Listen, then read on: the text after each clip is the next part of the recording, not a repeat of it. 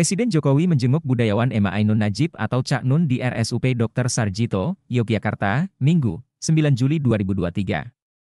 Jokowi mengunjungi RSUP Dr. Sarjito dengan didampingi oleh Menteri Sekretaris Negara Pratikno. Saat menjenguk Cak Nun, Presiden Jokowi ditemui istri Cak Nun, Novia Kolopaking dan anaknya.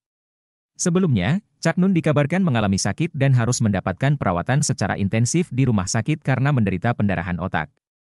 Seperti diketahui, di beberapa kesempatan Cak Nun sering memberikan kritik pedas terhadap kepemimpinan Jokowi.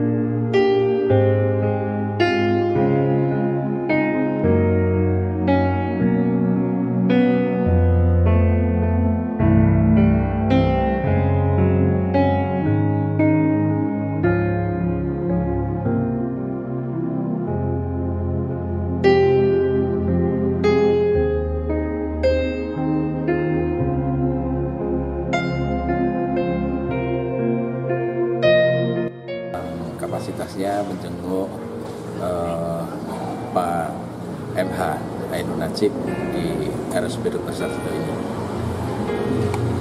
Selama berapa lama tadi Pak Eh, kunjungan beliau sekitar eh, 15 menit.